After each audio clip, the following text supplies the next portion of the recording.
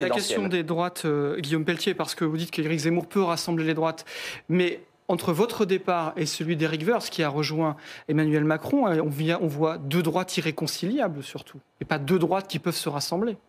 Ah bah, la, droite qui aime la France plus que tout, elle se rassemble autour d'Éric Zemmour, ça je suis d'accord. Ensuite, la droite qui aime pas trop là où vous avez raison, c'est que, que, les républicains, on voit bien, comme c'est devenu, pour ça que je suis parti, une auberge espagnole euh, sur le plan idéologique. C'est-à-dire que vous aviez des gens qui ne pensaient plus du tout la même chose. moi, j'ai de l'amitié, je le connais depuis 13 ans, euh, Éric Woerth. Mais on n'était pas du tout d'accord. Rappelez-vous les polémiques, y compris sur ces plateaux. Moi, quand je proposais euh, justement la hausse des salaires pour les travailleurs, et lui avait une vision très euh, libérale de, la société.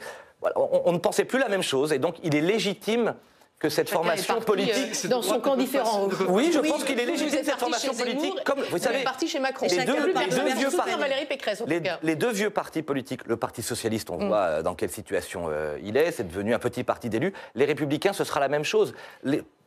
la plupart des adhérents et des électeurs, les Républicains, vont quitter Valérie Pécresse. C'est la fin programmée de LR C'est la fin programmée de ah, je, je pense que cette élection présidentielle, c'est l'élection de la clarification et à terme de la recomposition. Oui, les républicains, euh, oubliant euh, le général de Gaulle, oubliant Jacques Chirac, oubliant Nicolas Sarkozy, et ayant fini par euh, tout dire ou ne plus rien dire, eh bien, il est légitime que la plupart de ces responsables finissent par partir. Il y a ceux qui considèrent que la mondialisation est heureuse, que les classes moyennes, ça ne sert pas à grand-chose, ils vont chez Macron. Puis il y a ceux qui considèrent que la patrie est en danger, que l'immigration, l'identité, l'école, ce sont des sujets essentiels et qui viennent chez Zemmour.